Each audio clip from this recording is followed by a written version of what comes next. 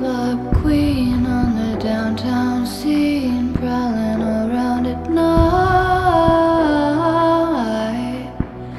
You're not mean, you're just born to be seen, born to be wild.